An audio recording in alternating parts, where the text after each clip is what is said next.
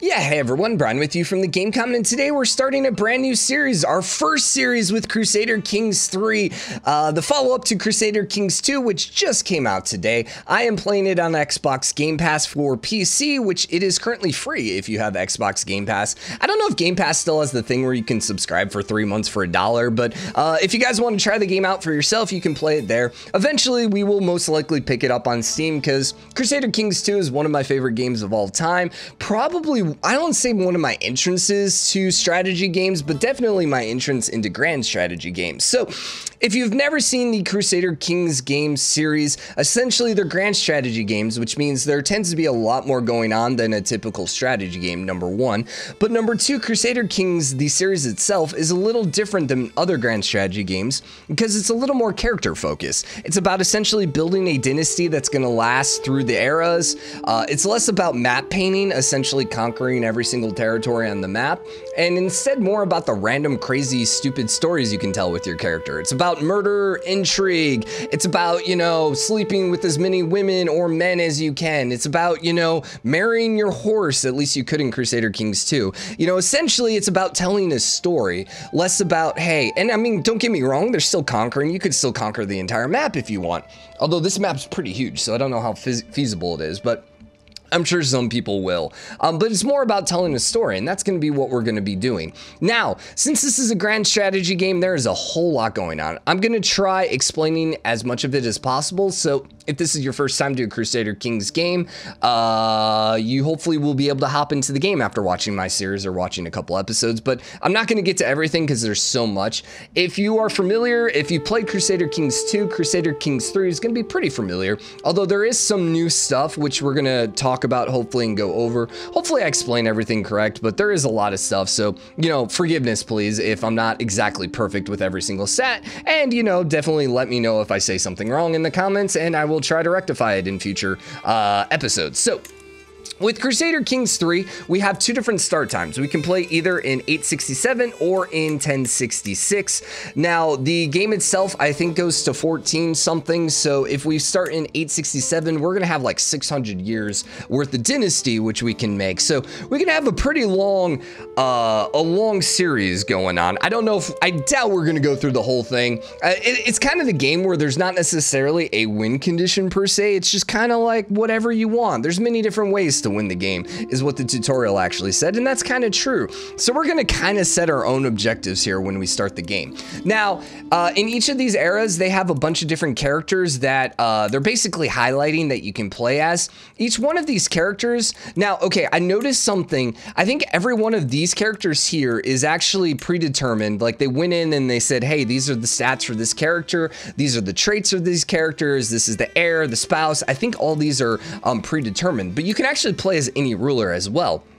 And one thing I notice is it seems like all the other rulers are a little more randomized, which makes sense because, I mean, this is a huge freaking map here. I mean, we can play anywhere. We can play all the way down here in Africa and play as just like a random dude down here in Africa. Uh, I don't know if there's any kingdoms down here. It doesn't look like any of these are kingdoms, but I actually don't know the names of this. Let's see. You're just a du uh, duchy. So there's four different levels. Uh, actually, this would be a kingdom. Okay, there's four different levels. There are um, counties, there are duchies, there are kingdoms, and then there are empires essentially a duchy is in charge of a various amount, usually three to four uh, uh, counties. A kingdom is usually uh, over what four or five different duchies, and then an empire is usually over a bunch of different uh, kingdoms. So, for example, the Byzantium Empire has a bunch of different uh, kingdoms inside of it. Now, the kingdoms may or may not be formed. I, I think in the Byzantium Empire, it's mostly just duchies, and you can see all the different duchies here. I don't think any of these are kingdoms. I think they're are all just duchies. Um, I don't know if you can actually have an empire and then have a bunch of uh, kingdoms inside the duchy. I don't, or, or, a bunch of kingdoms inside the empire. I don't remember if that's a thing. I don't know if like we created an empire, or sorry, if we created a kingdom in here, if we would instantly uh, declare independence. I don't remember on that. But point being, there's a whole bunch of different areas we can play as, and I mean, I want to play the crap out of this game. I want to play a whole bunch of these random areas. Khan, oh dude, is this like, this is Mongolia, I'm pretty sure, right? Right? It's impassable terrain here. Wait, that's all impassable? Oh, no, no, I see. That's just a huge impassable terrain. Is this like I actually don't know how this would work. But yeah, I mean, there's a bunch of different variations. The other thing to keep in mind is there's religion. So every one of these different areas has a different religion, and every one of these religions plays out differently. Like, for example, this Ashru religion, which I can't really pronounce, this religion uh, values one of their tenets of the religion is essentially human sacrifice. So there's just like a lot of different fun, entertaining things, and we can tell a lot of fun, different, entertaining stories. Uh, I think to start with, we're actually going to start in the Byzantium Empire, but we're not going to start here in the 1066. We're actually going to go back and start in the 867 start. So we're going to go back here, but once again, instead of playing one of these randomized people um, or one of the bigger rulers, we're actually going to play inside the Byzantium Empire and I actually want to start uh, as a count. So what that means is we essentially have a boss who's going to be in charge of us, our duke, who's going to be a, a, above us. So for example, if we looked here at uh, this count here, Count Christophorus, uh, he basically, his liege is the Duke of Achaia, uh, which I'm going to butcher all these names, I apologize. Uh, and then his boss is essentially uh, Basileus, who is the emperor here of the Byzantium Empire. So we're going to basically have two goals here. I don't know which duke we're going to start at as, or sorry, which count we're gonna start as. I noticed, like I said before, every one of these counts has, like their stats are randomized. I originally was thinking about maybe playing as the count of uh, Athens, but they actually don't have a count. The count is actually the Duke here. So uh, essentially the Duke here owns all these territories and he currently has it looks like he has both of these territories like personal holdings, and then all these other guys are essentially his vassals, which are basically people he's in charge of. Now, we could become this guy here, this Count Theodorus, because he's essentially this dude's uh, son. So eventually we would inherit all of these territories, but that might just be a little easy. I think instead I'm probably going to pick one of these two guys down here and we're going to have essentially um, our goal is going to be either a to recreate the kingdom of greece and become an independent greece. Now i don't know if we can actually become greece because i was looking at the different titles and it actually had a completely different name. I'll have to actually go in. So i don't know like i know in uh, ck2 you could actually make the kingdom of greece because i actually did this once before.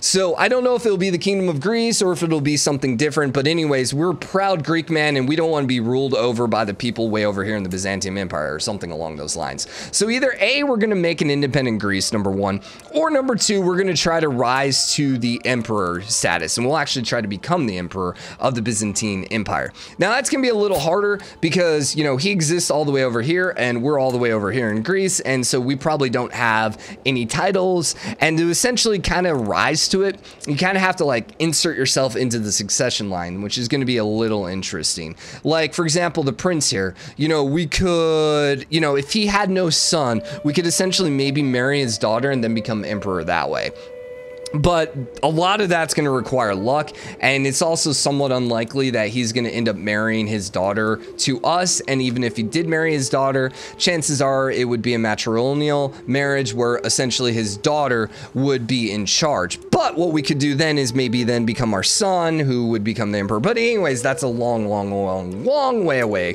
So instead we're going to start i think as either one of these three duchess or, or sorry counts. Um, but i want to see their stats. So he's wrath he's brave, and he's stubborn. You'll notice each one of these gives a different, like this gives you stewardship plus three. Can we actually see our total stats here?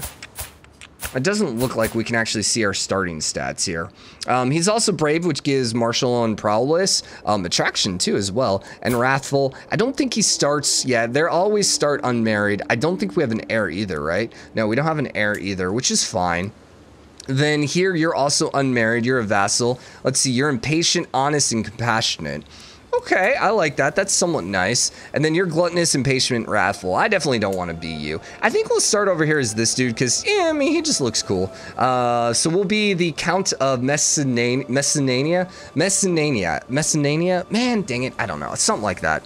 So our first goal here is we're going to want to become a player heir. Essentially, or we're going to want to get an heir. We're going to want to get married and then have ourselves an heir. The only essential way that you can lose the game here is essentially if you uh, uh, have no heir and you die. So, or essentially you lose all your territory and stuff like that. Of what we're probably going to want to do is to start with, we're going to eventually want to take over the duchy from this guy, but he's going to be a little stronger than us most likely. So we're going to eventually kind of need to, uh, we'll have to figure out how we're going to end up taking over. So the other cool thing about this is we're just going to go ahead and play. Uh, we can actually switch character at any time. So if we decided we could go play this guy if we so wanted, if we want to switch it. So how do we begin here? We're, uh, we have 18 gold here. Then we have prestige here. Prestige is essentially, is this pause? Okay, we're paused. Prestige is essentially how, um, hmm, what would be the best way to describe it? how famous you are would essentially be the best way to describe it. Now, what's different about this game versus previous game is in previous games, sometimes you have to do decisions which cost fame. So for example, if we win a war, that's gonna give us fame. But if we were gonna call in an ally into one of our wars, that might actually cost uh, prestige. Uh, sorry, sorry, I said fame. Uh, winning a war might give you prestige, but calling in an ally to help you out in a war might actually cost prestige. Also, different decisions in the game might also cost you prestige and stuff like that. In the previous game, that kind of sucked because, you know, the more prestige you have, the better people like you, the more famous your character is and stuff like that. But now instead, we actually have this level of fame. So every time you take up the level of fame, this is uh, independent of your prestige level. It basically just the longer, um, man, I can't get you to stay. I don't know how to actually click this and stay. Come on, baby. Also, the map is, because I'm getting to the edge of the map. But essentially, uh, uh, the more fame you get, I think here, I think you need to get like a thousand. How do we get to the next level here? Oh, progress there. So as we get a thousand fame, then we'll actually get to the next level. And you'll see here, since we're established, we have no uh, uh, effects. Basically, nothing's happening because we're established. But if we came down here and got distinguished, if we can make this actually stay. I thought it was just right click, but it doesn't seem to just be right click. Is it double click?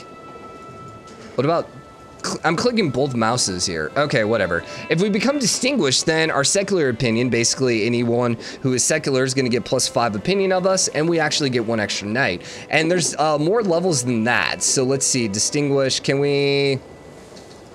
Come on. Come on. Oh, oh, there you go. Illustrious, exalted above men, and living legend. So essentially, as we do more things in the game, we become more uh, distinguished, hopefully, and that gives us better bonuses. We also have piety here, which is essentially the exact same situation, but that's based on the church's view of us. We are Orthodox.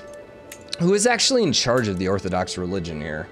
Um, well, we'll look at that here in a second because that's a whole nother thing. And then we also over here have renown. Renown is, it's like prestige, but shared by the entire dynasty. So essentially, as we have kids and stuff like that, that's going to take up our renown, and our dynasty is going to become more and more and more popular here. Then here we just have the total amount of soldiers we have, uh, the elite quality. Essentially, this is how strong your troops are. Um, so essentially, they go up from one to I think five. And so, like, if the quality is only level one, that's going to really, really hinder you when you're going and fighting, especially if you're fighting troops that are of elite quality.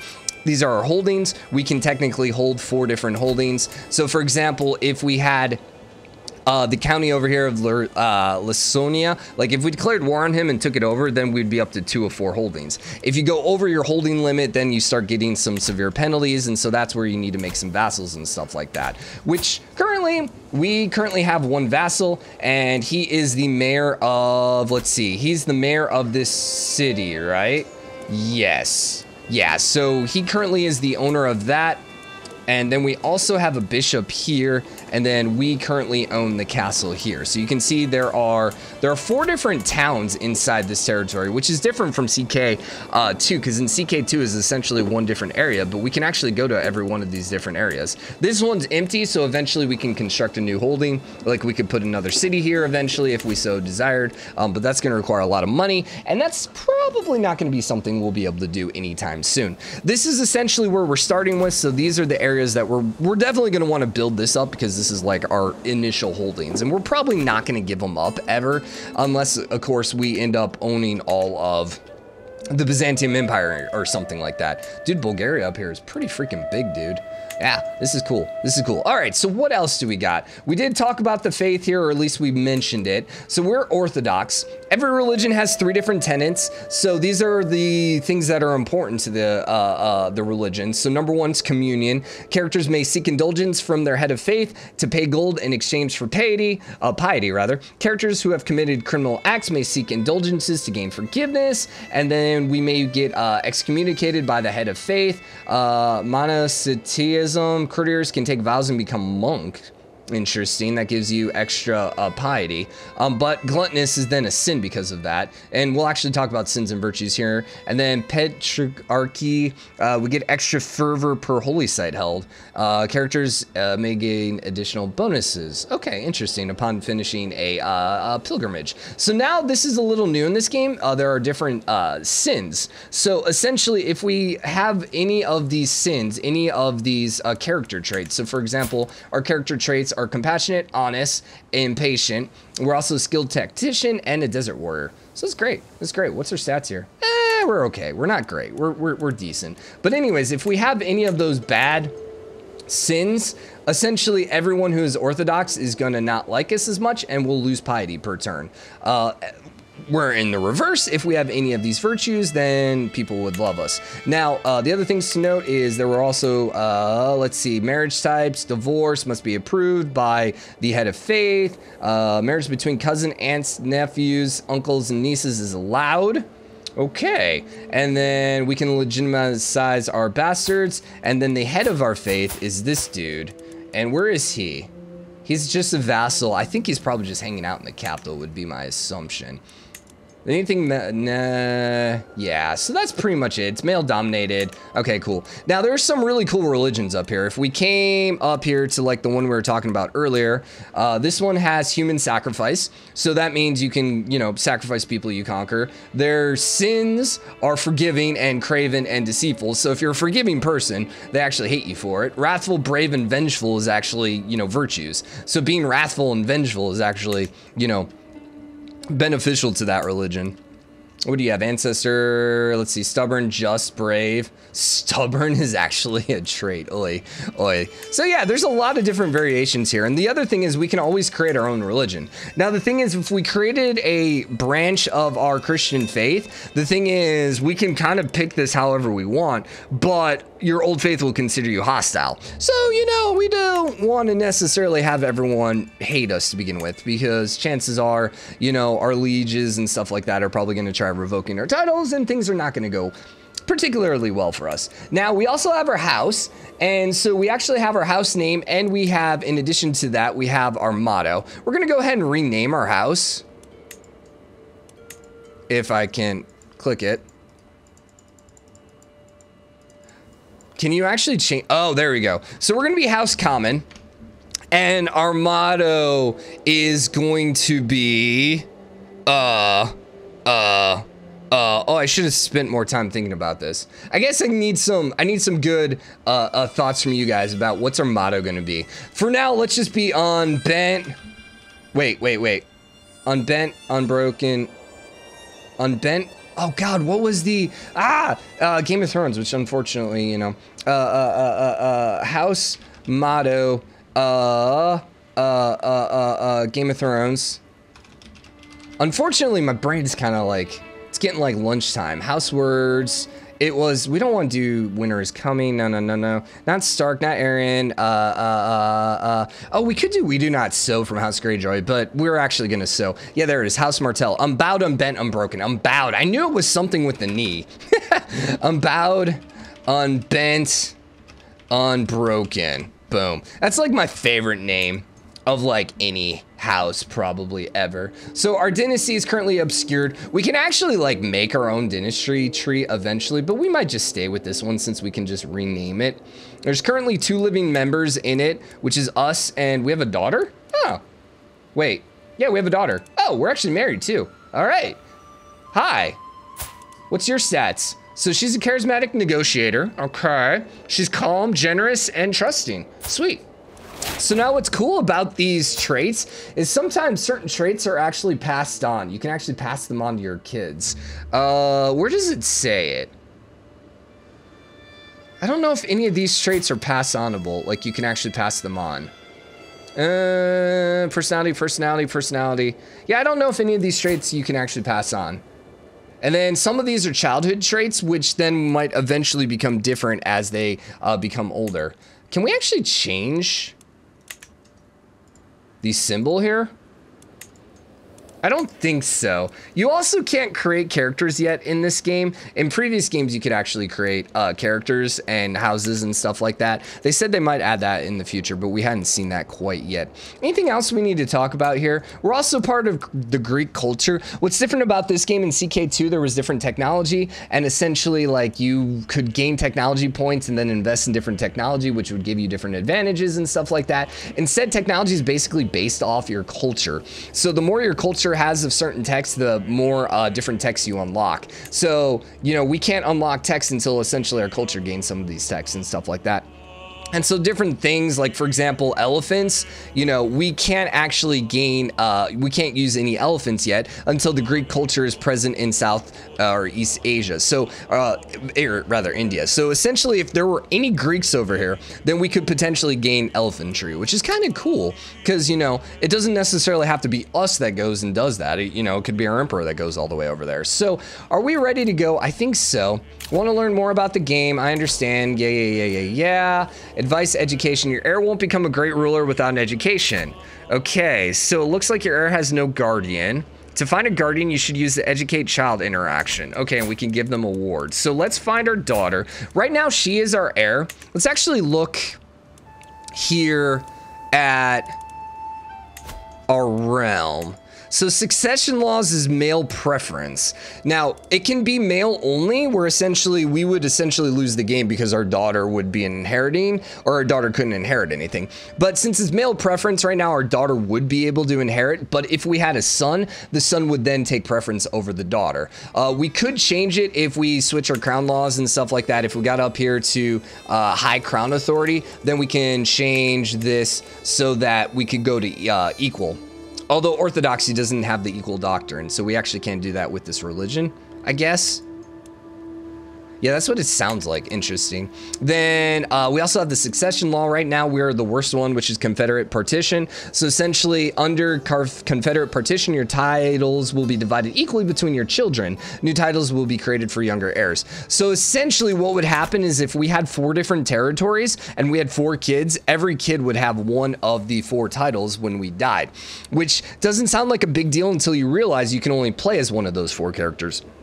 So essentially, we would play as the oldest, and then essentially we would end up losing three of the titles. So eventually, we want to, you know, kind of switch um, up our succession laws, and we'd rather be like uh, which essentially means that uh, oh, we actually don't even have it. The Greek culture does not have the innovation. But essentially, at that point, the eldest child would inherit everything. Uh, we can come over here, I think. Nah, Greek culture doesn't have it yet. Uh, the lion's share of the titles will go to your heir. The rest will be divided among your children. So essentially, we just kind of want to get up here as quickly as possible. Yeah, we can't even do any of these yet, so... We kind of don't want to have too many kids. Ideally, you want to have like maybe one son and then a few daughters. But then if your son dies, you know, in infancy or as a kid, then that could be a problem too. The other thing to note, uh, man, we're going through a lot. I know there's a lot here in the game. Um, these are different domains. This is, we have one vassal right now. We know that. Uh, we have the military here. There are now men-at-arms regiments. Essentially, these worked very similar to the, uh, oh God, I forgot what they were called in CK2. Um, but essentially, uh, we have levies, which are basically just, you know, normal peasants that we can raise and fight for us. You know, at any time I can raise my army, although there is monthly maintenance for raising them, number one, and then there's also some negative modifiers to having your army raised while they're currently at war, um, or while we're not at war, rather. Although we are at war, so we wouldn't take any negatives for that, but we're not going to go join this war because, quite frankly, we're just going to let our uh, uh, emperor do his thing. But anyways, in addition to that, we can create men-at-arms regiments, and these are essentially just better troops. Like, for example, the Onagers, these are going to be a little bit better at, like, sieging, where, you know, light horsemen are going to be better at fighting in plains and dry lands. And do they get a bonus? They also counter archers. Okay. Bowmen counter skirmishers, footmen counter heavy infantry, pikemen counter cav, and then armor footmen counter spearmen. So, you know, they all have the different uh, uh, uh, the different statuses. We also have knights here. Essentially, knights are uh, basically this kind of improve the effectiveness of your army. So, you know, we talked about the four or five different star, the knights. The more knights you have, the better off you are. The thing is, these cost money and upkeep. So, you know, we may go ahead and recruit, but we might wait on that. Like, for example, you suck. Are you one of our knights? Yeah, he's one of our knights, and he has freaking one prowess. So essentially, if you ever got fought, prowess is your hand-to-hand -hand combat. We should talk about those too. I'm sorry, this is to be a longer episode just talking about everything. Diplomacy is your first. This basically increases everyone's uh, opinion of you and then also your effectiveness in diplomacy screens. Uh, your martial is essentially your military strength, how big your levy size is, how quickly they reinforce, and your advantage when commanding armies. Your stewardship is the taxes and how much domain you can have. Uh, your intrigue, ugh, terrible. This is your scheme discovery chance, basically people who are trying to murder you or basically trying to do schemes against you. And then also how uh, successful you would be in doing those. And then your learning is your piety. Also, I don't know if it increases other stats too, because that's like your learning skill. And now also that prowess, which is essentially how great you are in hand-to-hand -hand combat. So that's all that. We have our titles here. This is basically the titles we own.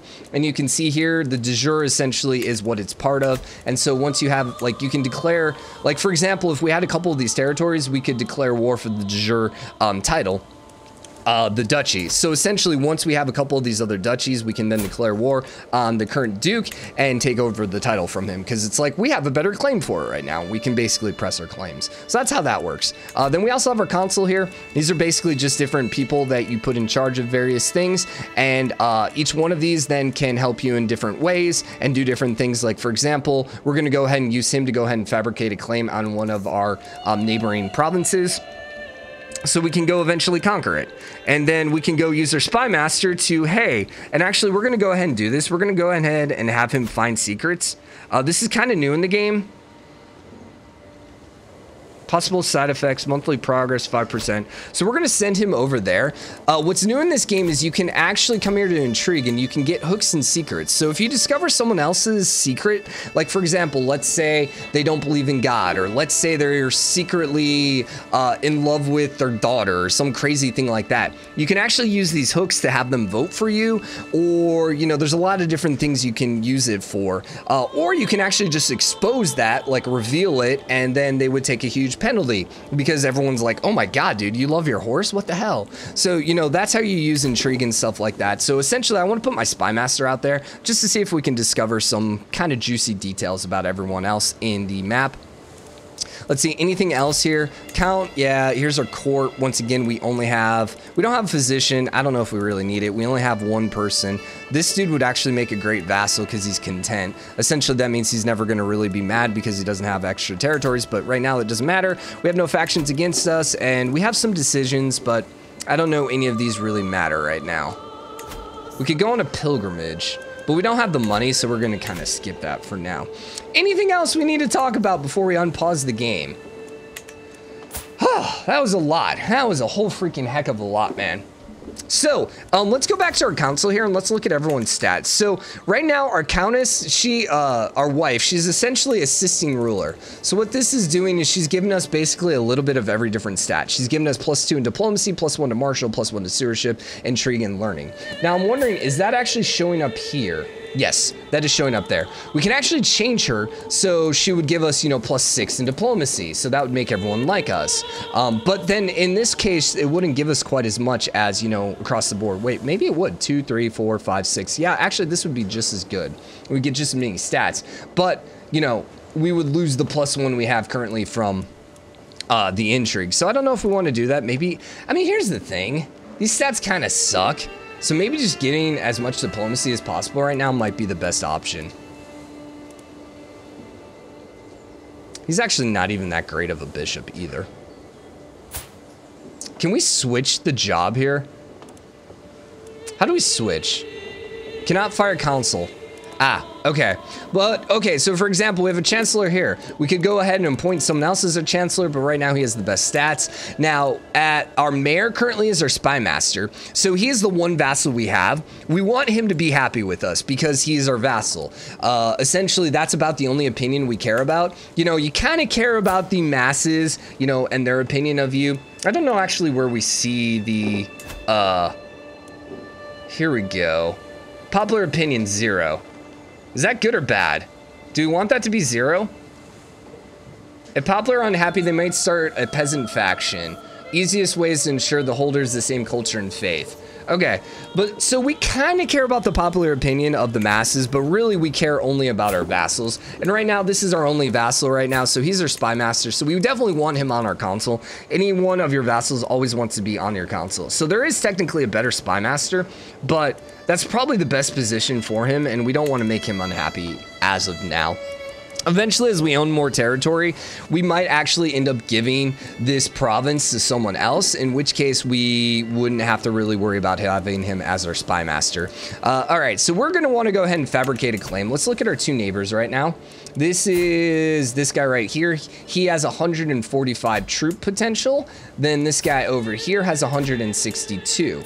We currently had what 193, which is a little bit larger than both of the other guys. So we will go ahead and fabricate a claim on this guy. It's going to take 20 months. This is different in CK3 uh, versus CK2. In CK2, it was like a random percentage chance that it would happen, and sometimes it could take forever. Now, basically, it's just based on your scheming, and it just gives you a, a set amount of time for it to happen. So that's great. Not all of these, for example, have that though. Like for example, murdering still has a potential chance to fail and or succeed. So anyways, Let's see, this one, we could do one of two things. We can either do domestic affairs, which gives our vassal opinion increased. And internal war. We don't really care about that. Or we can do this one, which gives us extra prestige. So yeah, we'll do that one. Then our steward, we can do collect taxes, which gives us 2% extra taxes. Or actually, let's see if there's a better steward, because you suck. Yeah, he should be a warrior, man. What's our Petros? What is going on here? So our marshal here of this guy is plus four.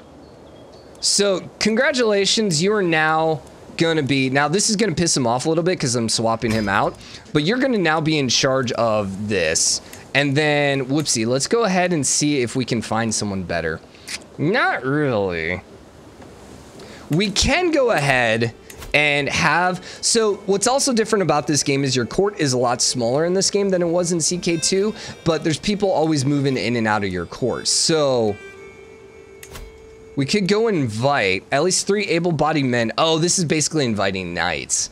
Eh so that kind of sucks actually. So hmm I don't think it matters right now. We might as well go ahead and run with uh because we can't actually invite. Well, one of the things we could do is we could go F.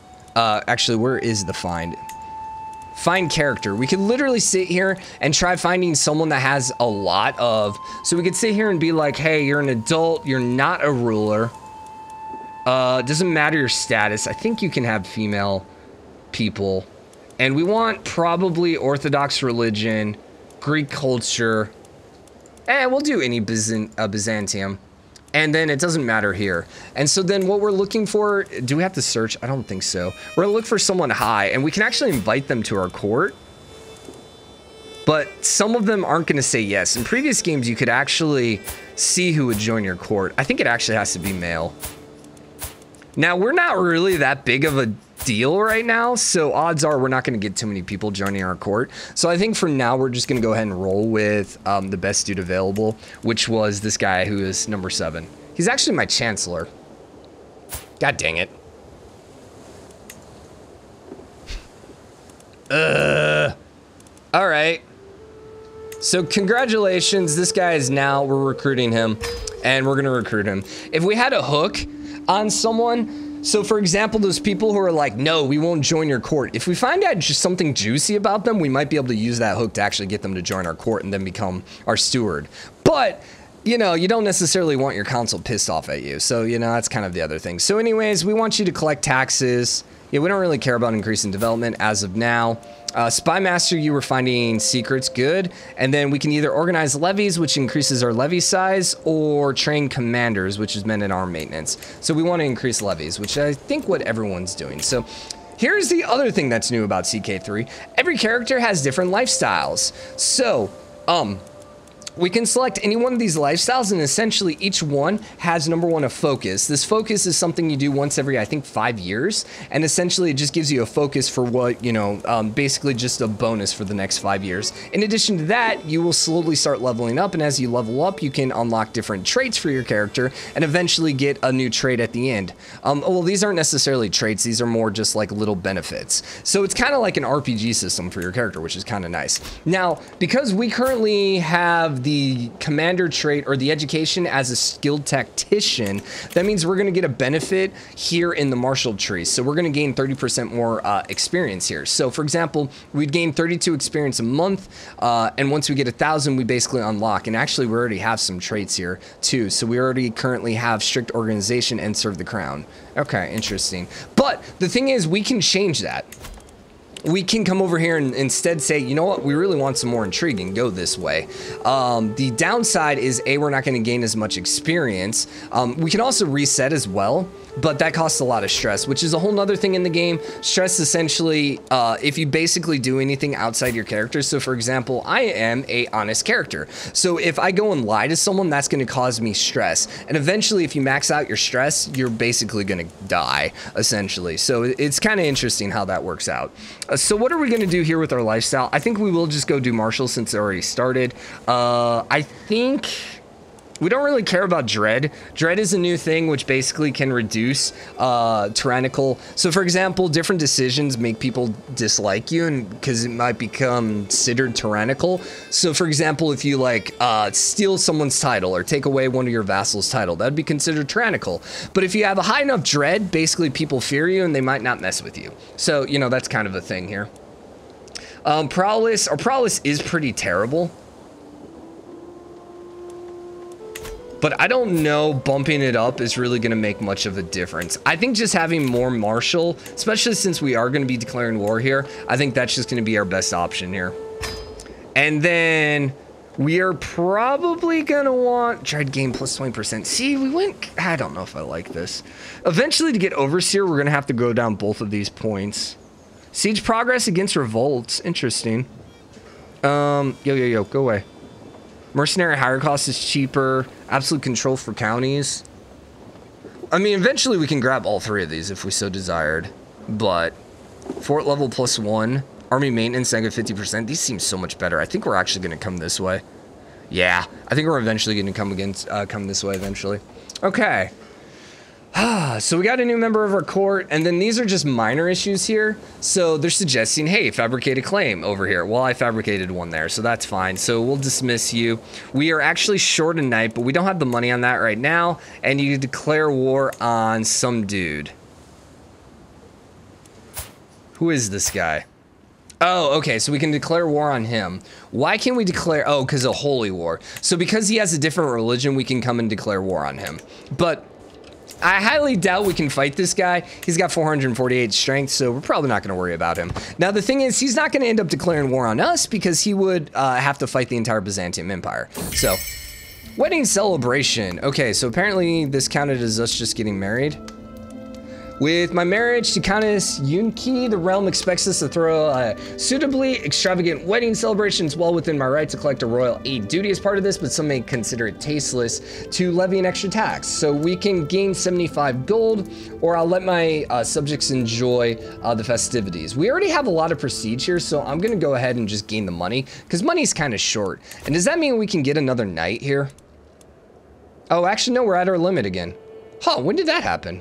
Well, eventually we will want to grab ourselves some um, men-at-arm regiments, and we'll probably want that before we actually go to war. The thing is, we're probably going to want to maybe build up some buildings here. Like, so for example, every one of our holdings, we can start constructing new buildings, and we're probably going to want to construct some new buildings to gain some more money, um, just because our income's kind of eh before we actually look at going to war yet. But we'll see if we can maybe get some bribes from some people from discovering some fun stuff, then, you know, that might be what we're going to end up doing first. But we'll see. Any decisions we care about? So we can call a hunt to lose stress. Don't really care about that. We can hold a feast, which increases your vassal's opinion. Doesn't really matter. Pilgrimage. We could do this.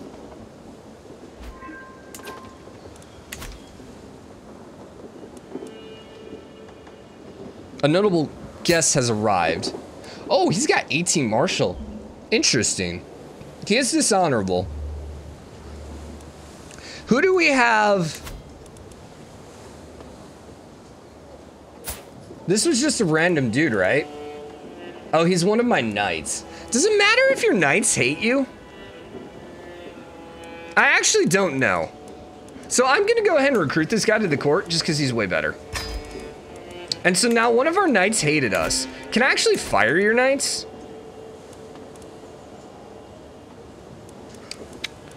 One, two, three, four, five. Oh, he actually doesn't have a lot of um, prowess either. Huh. Huh. Is this the guy we just fired?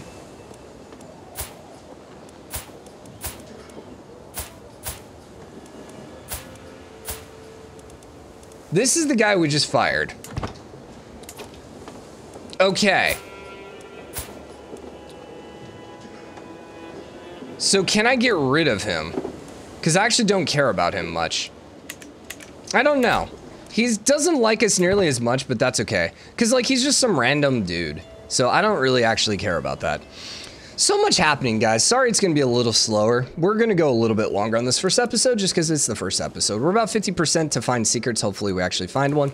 The other thing you'll notice is you don't actually have to build boats in this game. You just basically send your troops to the um, sea and they will immediately uh, join a boat. Now, where the heck are you going, by the way, dude? I don't know. So, rest for the weary. Sweaty, tired, and in need of food, a long day of training with the troops is coming to an end. As we search for a place to camp, we spot an old and abandoned castle in the distance. Running a hand through my hair, declare, that is where we will make our camp tonight. The sun is setting, and with every step towards the ruin, it looks more ominous. Before, the soldiers are whispering about ghosts. Let's venture inside. Or we can gain height heightened soldier morale. Nah, let's find some treasure, dude. Let's go freaking find some ghost. Darkness, dampness, and desolation reign inside the castle, and all traces of life are gone. Peering upon decaying stairs, decaying stairs, I spot what might be the remnants of lush tapestries and old paintings. Looking down the spiral steps, I see only darkness, reaching far down in the ground underneath the castle. So, let's see. Search upper floors. We got a 43% chance to gain 75 gold, 57% to gain 15 gold. Gold is gold here. Or we can gain the trait Brave, or I swear that Shadow just moved for 35 and we lose 20 Dread and gain 40 Stress. Dude, Brave is so good though. How do I actually... Brave? Plus two martial, plus three prowess, the attraction opinion, the vassal opinion, uh, but we are more likely to die in battle. Screw it, we're doing it. Yeah! Boom! So now we are freaking brave. So now our martial is up to 17, which is hell yeah, dude. Hell yeah. Good, good, good, good, good, good, good. We actually have another war going. My liege is now at war with... Who? Oh, all right. Random, uh, uh, uh, Vikings. So, weird. I wonder if that's where you're going, which is interesting. Recruited. Can we get rid of these? No guess. Yeah, I think we already asked you, so we're fine here. How goes their scheme in? So that's kind of what this game's about. You get these random pop-ups and stuff like that, which is kind of fun. We should probably go to speed four now at this point, because there's not really a whole lot happening. Your liege pass limited crown. Is that the first one?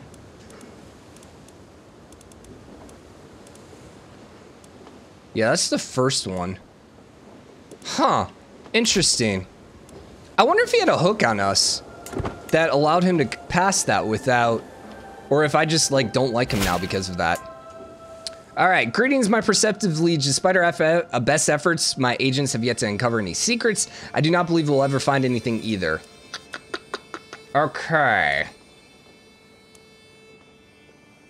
Okay, well, let's go ahead and then send him elsewhere. Um, that's kind of disappointing. I was really hoping for something right away. Uh, he is kind of bad at his job, though, because he only has a 15. I mean, it's not terrible. Let's see, some sport schemes. Let's go ahead and find secrets up here, then. And maybe we can, like, force him to join us or something. I don't know. I don't know. We could send him all the way into Byzantium and maybe we can get something on the Emperor, but, you know, who knows? Who knows? Who knows? Now, the one thing is, we're going to need some money once we get the, uh, whoops, whoops, whoops, whoops, whoops, whoops, whoops. I gotta, I gotta, like, learn everything here. So we still got 13 months before we can declare war. I don't know if we're going to declare war. Actually, you know, one of the things we could do, and what's different about this game, is you can actually get mercenaries. Mercenaries now just cost base gold versus in previous game it was actually maintenance every turn. Which I think you still have to pay maintenance to um, like if they die and stuff like that, but we might actually just save some gold and just go for this first um, band. We may or may not need it. We might just declare war, see if we can beat his army. If we can fight him in a good territory, you know, maybe. And then in that case, we wouldn't need to raise it. If we ended up losing the battle or we couldn't kill him properly, then in that case, we might just raise the mercenaries. Or we could also go and, you know, on a, uh, on a pilgrimage. But I don't think I want to do a pilgrimage yet. I think we're just going to kind of chill. We're young. Pilgrimage, I think, can give you some nice stats as well, but we'll see. Declare war. Now, I know about that. I don't want to declare. Hey, our wife is now pregnant. Beautiful, beautiful. Congratulations. Um, greetings, my perceptive liege. Despite our best efforts, we have not discovered any secrets. Okay, well, that's unfortunate. That is unfortunate. We could keep running it. I don't know if it's one of those things that the more you run it, the better odds you are of getting it. I think let's go ahead and try this so wait, why is there a penalty, by the way? So if there's any secrets, we get a 10% chance of discovering it. Oh, you know, that's interesting. I didn't notice that. 40% there, 10% there, 15% there, 15% there. The thing is, there's probably not going to be too many secrets yet in the game. And you know what? Let's just go ahead and disrupt schemes. Which is basically just going to prevent anyone from, you know, doing any schemes on us. It's probably too early in the game for there to be too many secrets would be my assumption. You know, I don't know if anyone's actually going to start with secrets. We didn't start with any secrets, right? Nah, so I don't think so. Uh, created a Liberty faction against our Duke.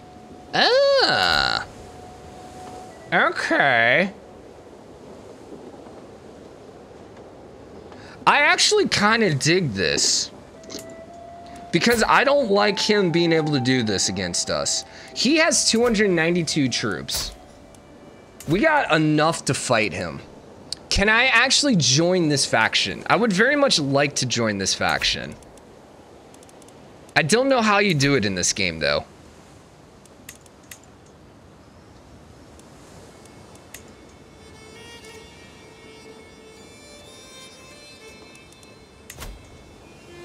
Mercenaries, Holy Order.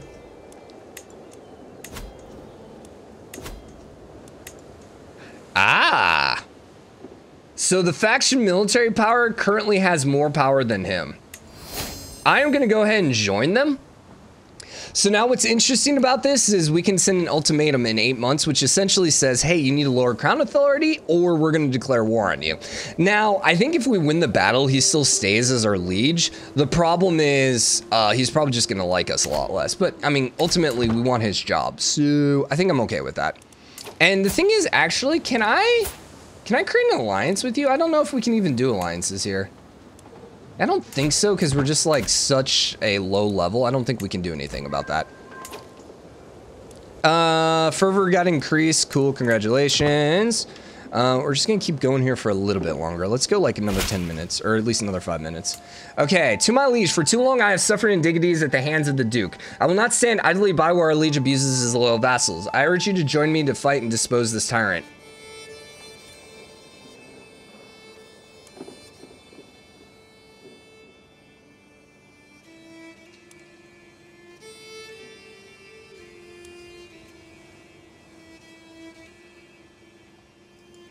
Now, the War of Tyranny.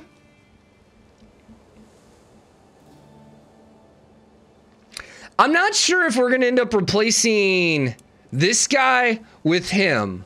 I have literally no idea with how that works. Can I quick save? Uh, F8 maybe? Yeah, I have literally no idea how this works. Where is like the main menu here? I can hit escape, but I don't want, ah, there we go. I'm gonna go ahead and save here.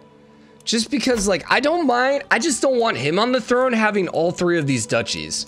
Or at least having, actually you would just have two. That would still be kind of hard. I'll fight with him. So we currently have joined the war. What is the war against the tyranny? Does it show what happens if we enforce demands? Okay, so we just become autonomous. All right. And he's disposed, actually. Their heirs will inherit the title. Actually, that's great. Because his heir is only 10 years old.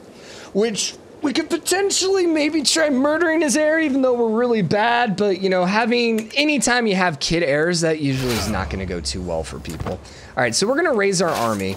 We are going to go ahead and join our buddy over here, and we're going to fight alongside him. He's actually going in here. Um, who's in charge? Who's our commander here? He has an 18. How do you switch commanders in this game? Split in half. There you are. New commander. We currently have a 22. Now, the downside is we could potentially die if we actually go. I think I am going to put us in charge of the army, though, because, like, let's get some glory here. If we die, well, we'll just restart the game. It's not that old. All right, so we're going to clearly win this battle. Now, what we would like to do is we would like to be the one in charge of the siege, just because I think you get extra money. Siege of Corinth, who is currently in charge of it? Defender, County of Messenia. That's us, right? Yeah, so we are currently in charge of the siege, right?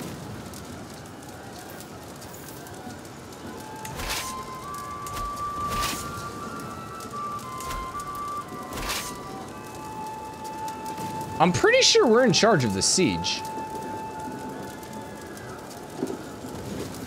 Because it would say a different county. Okay. So we could go destroy his army, but it's so tiny, it doesn't really matter. Once we take over this holding, we should be good usually in like CK2, a lot of times it was really great to go um, siege down the other holdings, like the cities and stuff like that, because it would give you a lot of money loot. But anyway, so we got a daughter. So unfortunately, that means, well, we have two daughters, so we still don't have a son. What do we want to call our daughter? Uh, we can call her after our mom, after an ancestor, and it gives you just a bunch of different names. Uh, a good Orthodox name or a good Greek name. Uh, Alexia? Yeah, sure, why not? Since we're going for the whole uh, Alexander the Great Greece thing, although I know Alexander was Macedonia, but whatever. Uh, okay, cool, congratulations. So, victory, we won the battle. Do we see how many troops we ended up losing? As initial soldier, we lost 73. How much in our army? Well, that was actually his army, right? Yeah, this is our army. We lost 88. Ah, interesting and show the different phases here. This is all cool. Yeah, I hadn't seen any of that. Okay, still, currently sieging down. Uh, we can't assault the force until we break it. Greetings, Count Constant, uh, Constantinos. I have prowled through the documents, both ancient and of less servant, uh, certain province. I have finally enough material to make the case that you are rightful lord. All that's missing is a little bribe. So we spend 93 gold, and essentially we can grab uh, the um, uh, uh, uh, the uh, documents, uh, grab a claim on it. So the thing is, you can't just randomly declare war on people in this game. You need to have a casus belli. And so the easiest way to get the casus belli is to basically get a claim, like what we just did. Um, so let's go ahead and have you do something different now. We'll just have you do, yeah, yeah, just do the suffrage stuff. Because um, I don't want to put a claim on that one yet. It's come to my attention that your bishop is working to fabricate claim on the county. I implore you to remember that you are a count, not by greed. That's my vassal. Oh, so he doesn't like us as much now because... That makes sense. That makes sense. He doesn't like us as much because of the fact that, I guess... Does he have some brave, impatient... Is this us? Oh, that's you. Uh, vassals. Why would he not like that? Because he's gregarious? I have no idea. One thing we can go ahead and do, and we hadn't started this, is we can actually do a, uh, we can try swaying him to our side, We don't really want our vassal not to like us, especially since he is our spy master. That's very dangerous. So we're going to try swaying him. We have an 82% chance. Yeah, we'll go ahead and try swaying him. The goal is to make him like us more. Essentially, that's all that is. Are we still at war here? Yeah, there we go. It's like, I don't know what happened to the war thing. So, all right. We currently are uh, 50 days left. He is currently sieging down our neighbor. Don't really care. Uh, and we ended up grabbing everything here. So we're at 100%. Do I have to be the one to enforce this?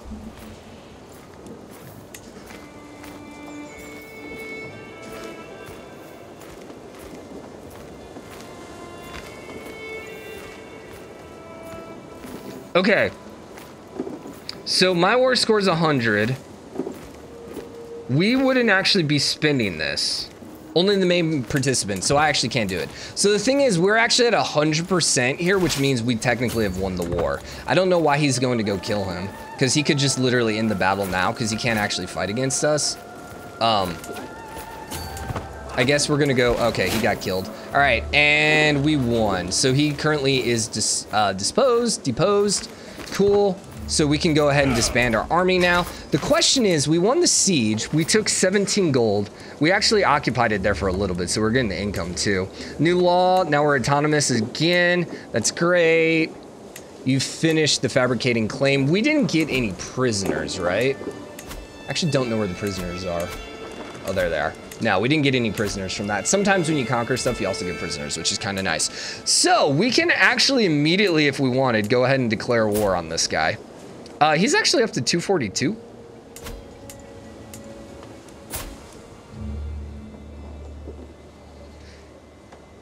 Interesting. Oh, because he's got the light footmen. He ended up buying some light footmen. Okay. So now that he has a few more troops than us, we probably want to wait a bit. So he has light footmen. What was the counter to light footmen?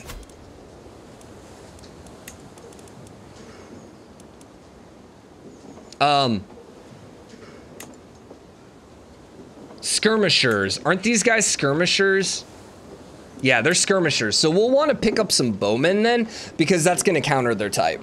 All right, but for now, we're going to wrap this first episode up here. Hope you guys enjoyed it. If you did, drop a like, comment, let me know what you think. As always, hit the subscribe button during the game, comment, show your support. Next episode, we hopefully will be able to get to war. We're going to need some money. Man, if we can figure out some ways to make money, that would be great. But for now, we're probably just going to have to wait for it to tick up. Um, so anyways, hope you enjoyed it. See you guys next episode. Bye, everyone.